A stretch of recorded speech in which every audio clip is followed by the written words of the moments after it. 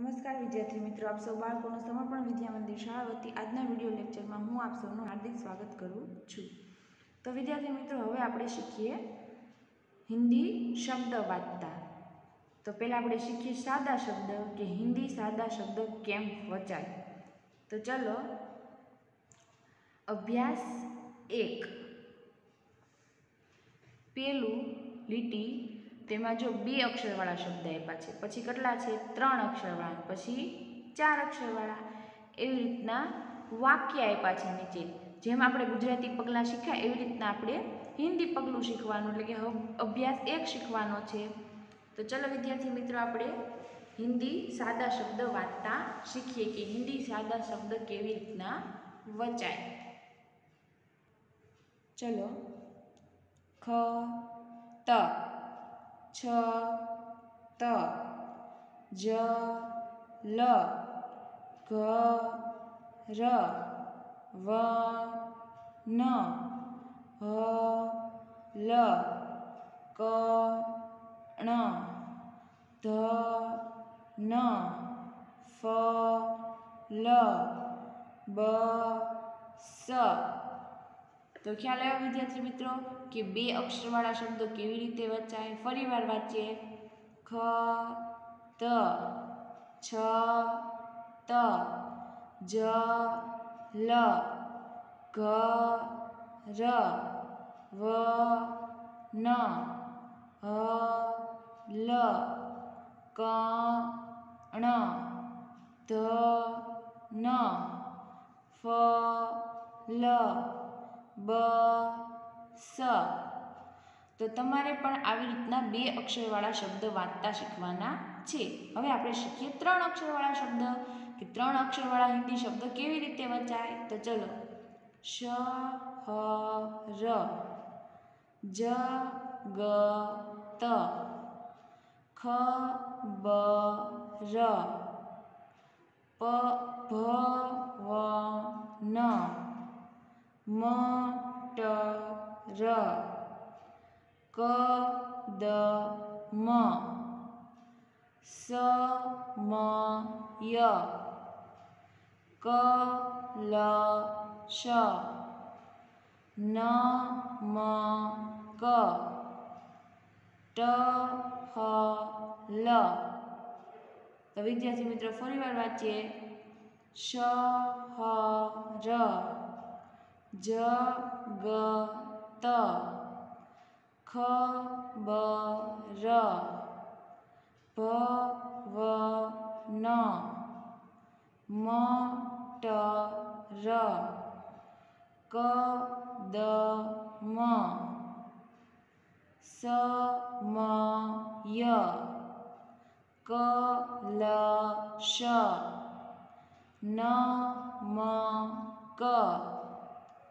ટ, હ, લ. પછી ચાર અક્ષરવાળા, સૌથી પહેલાં બે અક્ષરવાળા શીખ્યા, ત્રણ અક્ષરવાળા, હવે આવશે ચાર અક્ષરવાળા. તો ચલો ચાર અક્ષરવાળા શબ્દ વાંચીએ કે કેવી રીતે વચાય ચાર અક્ષરવાળા શબ્દ? પ, ન, ઘ, ટ. પછી ક લ ર વ પ ત જ ડ બ ચ પ ન અ ચ ક ન શ ર બ ત ક ડ ધ ડ ક ન સ ત લ જ સ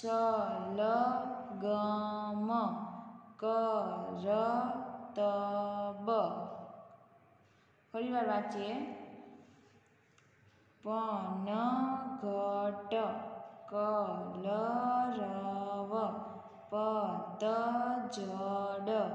બચપન અચકન શરબત ધડકન શલગમ પ ત વિદ્યાર્થી મિત્રો, તમને ખ્યાલ આવ્યો કે બે અક્ષરવાળા, ત્રણ અક્ષરવાળા, ચાર અક્ષરવાળા શબ્દ તમને હિન્દી વાંચતા આવડી જશે, એટલે તમને હિન્દી વાક્ય પણ વાંચતા આવડી જશે. તો ચલો આપણે બે અક્ષરવાળા, ત્રણ અક્ષરવાળા, ચાર અક્ષરવાળા શબ્દ વાંચતા શીખી ગયા. આપણે હવે વાંચીએ હિન્દી વાક્ય. જગ રખ ફલ, ચક, ખત, પટ, શરબત, ચક, અચકન, પહન, મદન, ઘર ચલ સમય પર ઉઠ, જલ ભર કર રખ, જલ ભર કર રખ, નલ પર મત ચઢ, કલરવ પનઘટ પર ચલ. ફરીવાર વાંચીએ. જગ રખ, ફલ ચક ખત પટ શરબત ચક અચકન પહન, મદન ઘર ચલ. સમય પર ઉઠ. જલ ભર કર રખ. નલ પર મત ચઢ. કલરવ પનઘટ પર ચલ. તો ખ્યાલ આવ્યો વિદ્યાર્થી મિત્રો કે સાદા શબ્દો કેમ વચાય? બે અક્ષરવાળા, ત્રણ અક્ષરવાળા, ચાર ચાર અક્ષરવાળા અને વાક્યો. એ કેવી રીતે વચાય? તો તમારે પણ આવી રીતના આ અભ્યાસ એકમાંથી સાદા અક્ષર એટલે કે સાદા શબ્દ વાંચતા શીખવાના છે. હવે આપણે શીખીશું. કા ખા ગાવાળા શબ્દ એટલે કે બાજુમાં લીટો આવે તેવા શબ્દ. તો ચલો વિદ્યાર્થી મિત્રો, બાજુમાં લીટો આવે એવા શબ્દને શું વચાય? તો ચલો જુઓ. પેલા બે અક્ષરવાળા શીખીએ. આગ ગધા આજ, આમ, ગાય, ઘાસ કાન, કામ, તાલા, દાદા. ફરીવાર વાંચીએ. આગ ગધા આજ, આમ, ગાય, ઘાસ, કાન, કામ, તાલા, દાદા. તો વિદ્યાર્થી મિત્રો, ખ્યાલ આવી ગયો કે કા ખા ગાવાળા બાજુમાં લીટો એવા શબ્દ કેવી રીતના વચાય? તો હવે બે અક્ષરવાળા શબ્દ વાંચતા શીખી ગયા. હવે આપણે શીખીશું. ત્રણ અક્ષરવાળા શબ્દ.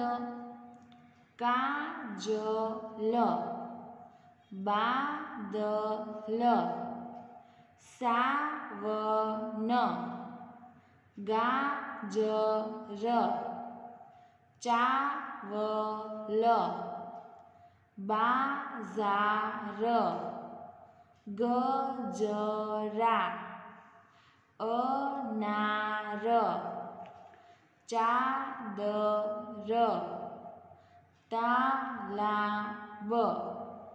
ફરીવાર બચું કાજલ બાદલ સાવન ગાજર ચાવલ બાઝાર ગજરા, અનાર, ચાદર, તાલાબ. તો વિદ્યાર્થી મિત્રો, ખ્યાલ આવ્યો કે બે અક્ષરવાળા અને ત્રણ અક્ષરવાળા શબ્દ કેવી રીતે વચાય? બાજુમાં લીટો આવે એવા હવે આપણે શીખીએ ચાર અક્ષરવાળા શબ્દ. તો ડાક ખાના જલયાન, ટમાટર, દરવાજા, દરબાર, જાનવર, આસમાન પાઠશાલા અખબાર બરસાત ફરીવાર વાંચીએ ડાકખાના જલયાન ટમાટર દરવાજા દરબાર. જાનવર. આસમાન. પાઠશાલા. અખબાર. બરસાત. તો વિદ્યાર્થી મિત્રો ખ્યાલ આવ્યો કે બે અક્ષરવાળા, ત્રણ અક્ષરવાળા ચાર અક્ષરવાળા કાખા ગાવાળા એટલે કે બાજુમાં લીટો આવે શબ્દ કેવી રીતે વચાય? તો હવે આપણે શીખીએ વાક્ય વાંચતા. તો ચલો. જગન અનાર ખા હાથ સાફ કર. બાજા મત પર બજા. બાજા મત મત બજા. બાદલ આયા. ધારા ગાના ગા. ચરખા ચલા. માલા આમ ખા નૈના માલા પહન. રાધા નાક સાફ કર. બાજાર જાકર ટમાટર લા. ફરી વાર બોલીએ. જગન અનાર ખા. હાથ સાફ કર. બાજા મત બજા. બાદલ આયા બાદલ આયા ધારા ગાના ગા ચરખા ચલા માલા આમ ખા નૈના માલા પહન રાધા નાક સાફ કર બાજર ઝાકર ટમાટર લા ગાય છે ચરખા અને ટમાટર એવું ચિત્ર આપ્યું છે ને? તો ચલો, તો વિદ્યાર્થી મિત્રો, તમને ખ્યાલ તો આવી જ ગયો હશે કે કા ખા ગાવાળા શબ્દ કેવી રીતે વચાય. તો તમારે પણ પહેલાં સાદા શબ્દ શીખવાના છે, પછી કાખા ગાવાળા બાજુમાં લીટા આવે એવા શબ્દ વાંચતા શીખવાના છે.